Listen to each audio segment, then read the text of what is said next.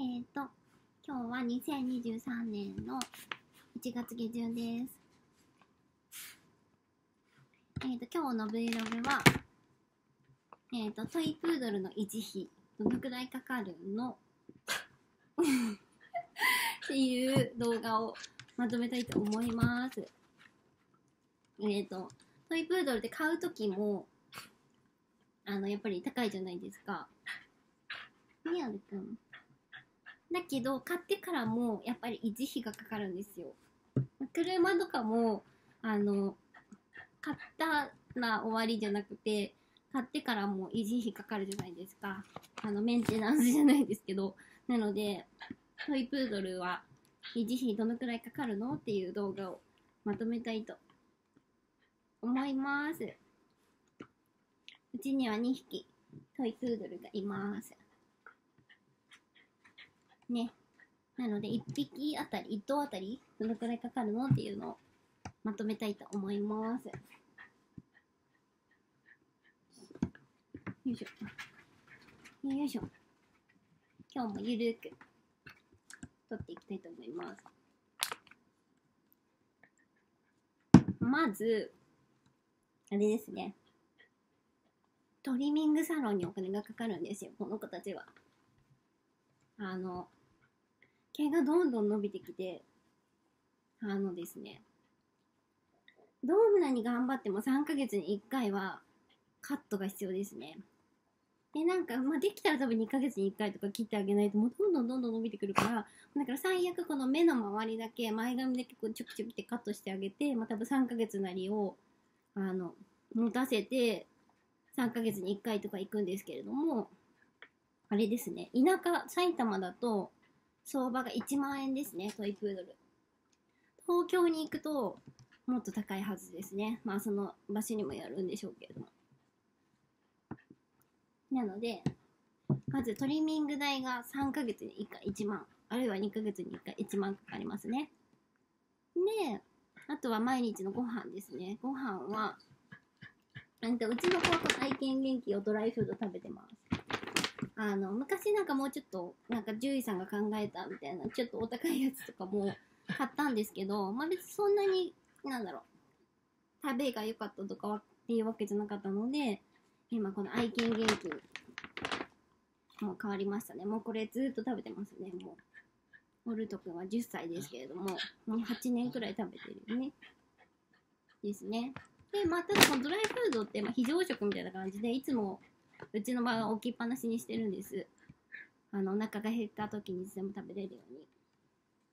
基本的には、ウェットフードですね。このシーザーを食べます、うちの子たちは。えっ、ー、と、1匹1缶ずつくらいですかね、1日に。ね。1缶ずつくらい。で、今はこれ、田舎の、あの、なんだ、ホームセンターで買うと1個。昔は安いと100円だったんですけど、今物価高でこれ108円、安くて108円。高い時は130円とかするんですよね。なので、これ1日130円食べてますね。130円ずつ。ね、だから2匹だから2、260円とかずつ食べてますね。でもこのやっぱりワンちゃんって、まあ人間もそうなんですけど、食べ物で毛並みが変わってくるので、病気とかにもなりにくいと思うので、食べ物はちょっと気を使って、このシーザーを食べてますね。で、これは最近なんかちょっと、売ってるので、たまに買ってきてあげてるんですけど、ご飯に混ぜて。これはまあ、エクストラなので、そんなにあれですかね。なので、1日100円だとしたら、1ヶ月3000円か。1日130円で計算すると、4000円くらいですかね。なので、このウェットフードが4000円くらい。で、まあドライフードは、まあ、適宜食べてるし、これまあ安いやつだからそんなかかんないんですよね。っていう感じですね。で、あとはおやつですね。これ、骨子？とか、あの、いろいろ、あの、おやつは適宜あげてますけど、あの、あれですね。おやつは、あの、まあ、その時に応じてって感じですかね。あとは、あれですよねだからドッグフードも東京だとなんかまあ多分種類もいろいろあるし高いものもいっぱいあると思うんですよだからそのドッグフードもねウェットフードとかねドライフードもそうだと思うんですけれども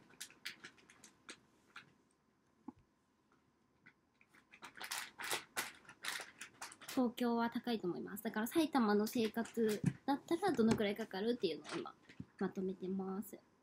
ですかね。あとはあのーエアコンと暖房ですね。これは冬は暖房。夏はエアコン。これは24時間必要です。あの人がいない時でもエアコンはつけっぱなしにしないとえっ、と耐えられない犬種なのでえっ、とエアコンと暖房24時間必要ですねその季節によってはですねあとはえっ、とお散歩用のリード？もうリードは必要だし、あの、銅はハーネスとか、ハーネスとか、あ、穴開いちゃったか。穴開いてるんで。開けたの？もう。えーと、ハーネスとか必要ですよね。あとは、お洋服。お洋服は、まあ、あの、ちょっともう一ちゃんお洋服は、あの、まあ、夏とかは別に着なくてもね、いいんでしょうけど、あの、何でしたっけ。冬は、まあ、寒い時は着るのと、あとは、あれですね、何でしたっけ？散歩に行く時になんか、ダニが、なんか飛んできたりするんですって、それを洋服着てると、あの、多少弾けるよっていうのは聞いたことあるので、うーん、まあ、いつもじゃないですけど、お洋服は着たりすることが多いですね。夏はでも着ないことが多いかな。冬は着てますね。寒そうだし、多分寒いだろうなと思って。ですかね。あとあれだ、雨の日のお散歩用の、あの、カッパ、レインウェアっていうんですか、レインウェアとかも、まあ、適宜って感じですかね。あと忘れちゃいけないのがワクチンですね。狂犬病のワクチンと、年に1回ですね。ワクチンと、あと、なん、なんか混合ワクチンですかね。何種混合っていうのは、まあ、その選んで、ね、うん、何種だったかなちょっと忘れちゃったんですけど、今後ワクチンですね。ワクチンは必要ですよね。っていう感じですかね。あとはあれだ、トイレシートとかマナーベルトとか、その辺も必要ですね。っていう感じですかね。だから、ご飯とトリミングあとはエアコン暖房代まあだかそこ考えると、まあそこまで高くはないのかな。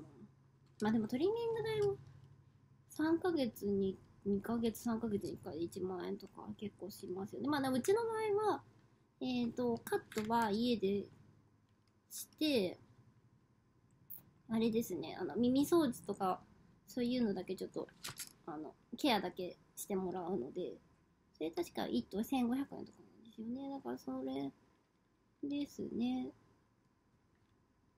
まあでもそのトリミングって家でやると、まあ、すごい手間がかかるんですよ。だからすごい大変なんですよね。だから、まあそうねまあ、時間かけてあげる分、愛情も湧くんでしょうけれども、っていう感じですね。なので、まあでもただじゃないですね。あの、昔のワンちゃんって、なんか洋服もいらないし、食べ物も人間の余ったご飯でいいし、みたいなイメージあると思うんですけれども、もう昔ってもう30年前とかかな。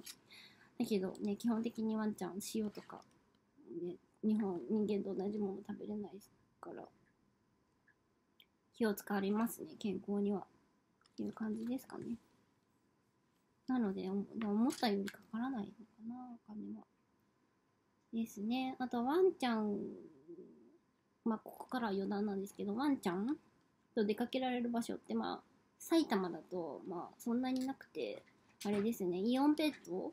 イオンペットでワンちゃん飼ってるんで、オルトちゃんは。イオンペットは出入りできるんですよね。かお洋服とかそこで買えたりしますね。あとホームセンターも出入りできますね。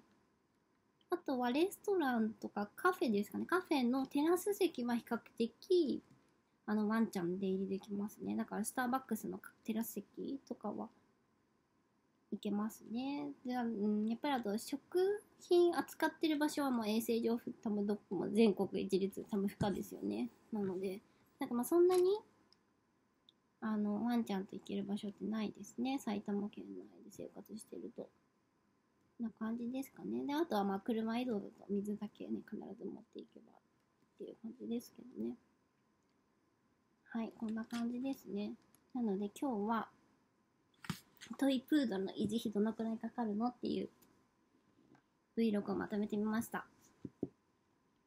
思ったほどかからないけど、あのね、昔のワンちゃんに比べたら高いですね。